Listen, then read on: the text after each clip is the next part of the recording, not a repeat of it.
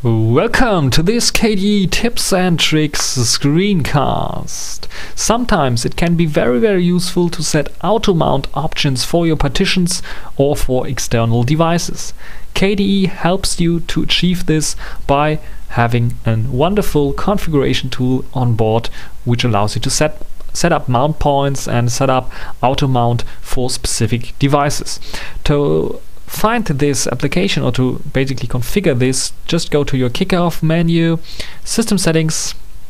and here you can set up removal removable devices.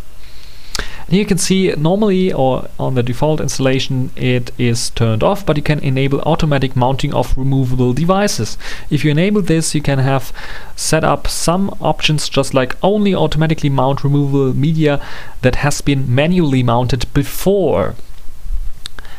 you can mount all removable media at the login, which is very handy if you want some server system or some applications automatically then connect to this removable media and uh, then just download something uh, in there, especially useful if you have a KTorrent uh, profile set up to download something on your external hard drive, uh, torrent files or something like this. It would be very handy to mount them uh, when you log in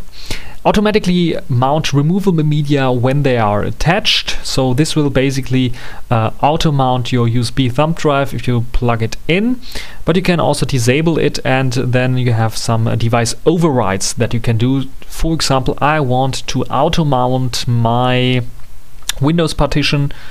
uh, I think it's this one here on login or on attach in this case I have only internal disk so uh, it does not make sense to set it up to an attached but if you have some um, uh, devices that you already attached, they will uh, list it under dis disconnected devices if you have them disconnected, or if they have them attached, they will list up in here, and you can then set up. Okay, my I have my backup, uh,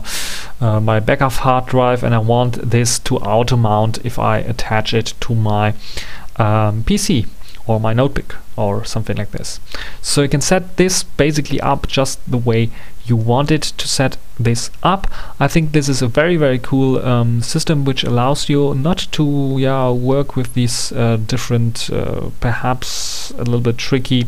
configuration files which set up also uh, global um, stuff for auto mounting and so on and here you have the option to set up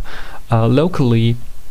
Mm, auto mounting options, especially useful if you have different accounts uh, on board and you can set for every different account the option to auto mount a specific drive or something like this.